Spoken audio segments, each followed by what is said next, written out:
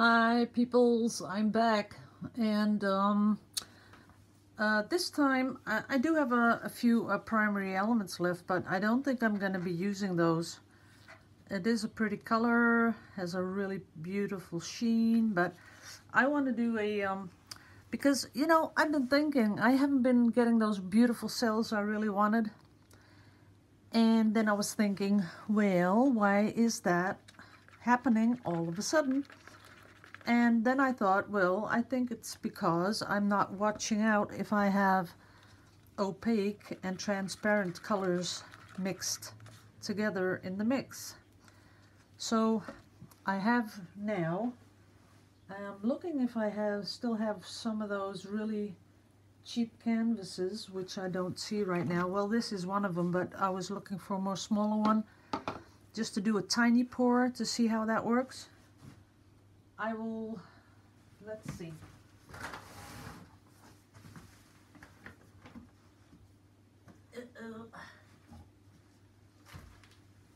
I had a whole lot of those really tiny little canvases, but I think I've uh, used them all. So can't do that. Then the only thing I have left is to pour on this. It'll have to be. So I'm going to start with the most dense like I usually did. But then I'm gonna come in with some uh, transparent colors. This one is transparent. This one is transparent. Transparent. And this one is. That's a lot of blues. And I think I'll just use this. Oh but I gotta fill it up because this uh, canvas is a little bit bigger So I'll just do that. I think that'll be enough. I'm not going to stir in the cup anything. Just do this. There we go.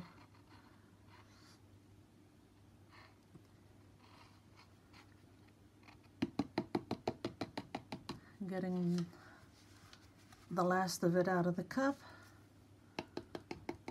Whoops, that's a little bit too much already going over the side just making this wet.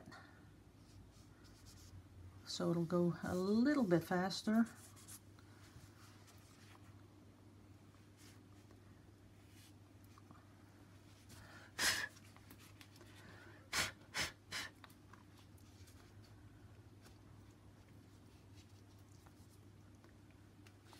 There it goes. Letting it come down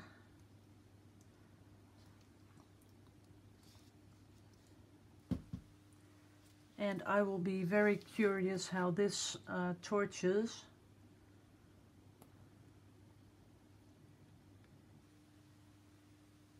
And it's still not over the edge. Come on. Go over the edge. There it goes. Okay, we got some big blotches. Get my little cloth for my hands. But as I said, this is only a, a really cheap canvas and um, I'm just trying to see what the colors are going to do.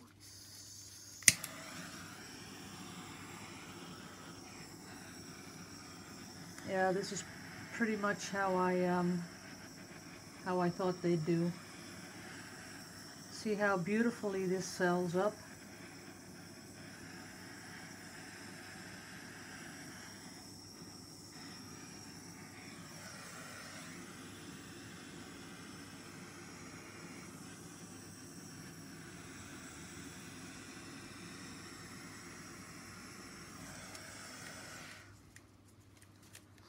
Yeah, these are beautiful cells.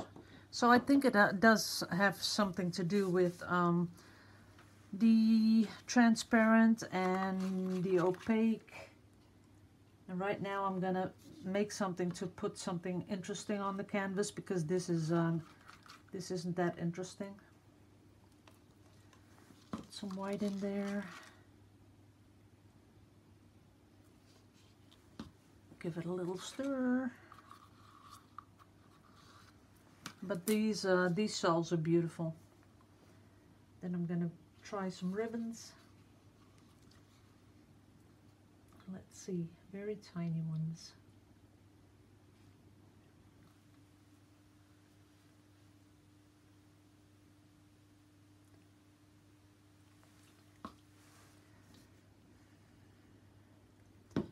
Letting them get a little bit bigger. And the only thing that I don't like is when you do the ribbons and you start to move them, then all the uh, other stuff moves also. So that's sort of something you can't avoid. But this is a test, so who cares? You gotta do some testing sometimes, right?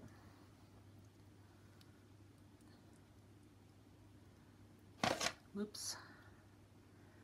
That is really pretty, this. Let's see if we can do that again up here.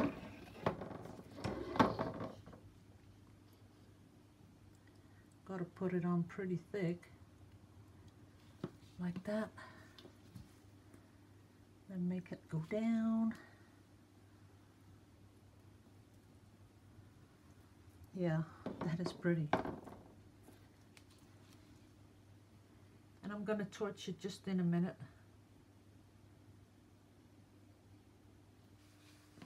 Up here, that is pretty. Everything is kind of pretty on this one.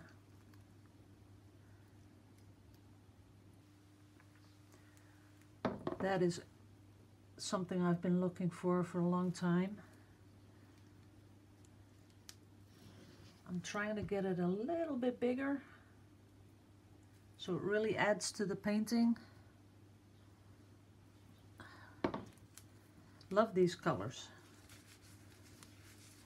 We could do that again. Now let's see what happens. I'm just going to keep it up high. And just let the warmth do its thing.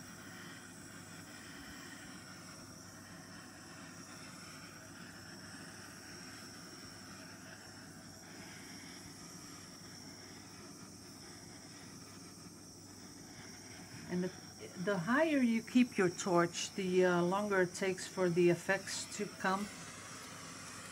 And I'm going to get you guys down in a bit because I'm seeing some beautiful, beautiful things happening. And what I'm sort of thinking is that maybe we should do something a little different with the with the heat. I'm going to think about that. I'll, I'll give you a close-up and tell you what I'm thinking about. Okay, look at this. Look at those beautifully formed cells. They are really pretty. These uh, bottom ones, this is, for me, the ultimate uh, cells. And I don't mind this because I like that.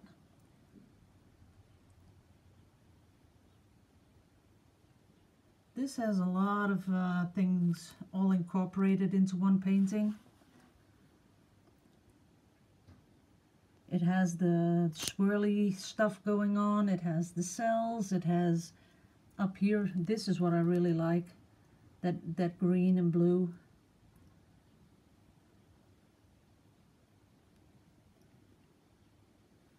See, it has a lot of uh, things going on for it. Let me get it in focus. There you are.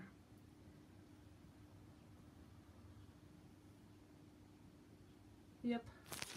Let me put you back up here in the middle, getting you at focus. So this, this I really, really like. That is beautiful. And I, what I'm thinking is, you know, instead of a torch, what kind of electrical thing is there that, you know, penetrates heat but doesn't move the air. Like even the torch moves air sometimes. I'm looking for some sort of a thing that is warm like a light bulb something uh, a really a high watt, watt uh, light bulb because they get pretty hot and you can put it really close to the paint and see that you know, it pulls up the silicone like it did here. because these are the, the cells I'm really looking for and I wish I could make this these cells every single time because they are really pretty. Okay. Oops. Gotta get a little little brush to fix the sides a little bit. Just here and there and not much. Let's see, there it's all covered. The front is covered, almost the whole thing. There we go. A little bit more paint on here. Then I want to turn it around. Yep, we got some here.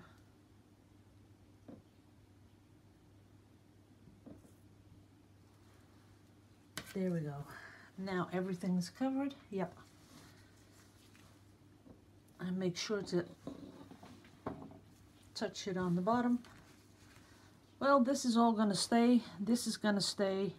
Nothing is going to be... Um, wow, I really like that too. I can't help it, but I do. Uh, I wish that was there too. Hmm. Okay. I am going to try to make at least a picture of this. So I'm going to stop the video right now and go straight to uh, the macro macro settings on my camera. And uh, I'll be back after this one with, I think, one more pour today. So thank you for watching, people. Thank you for all your very, very kind comments. Yes, I really, really appreciate people, you know, just um, thinking about what all that social media does. And I hope that... Oh, there's someone at the door. Okay, gotta go. Bye-bye.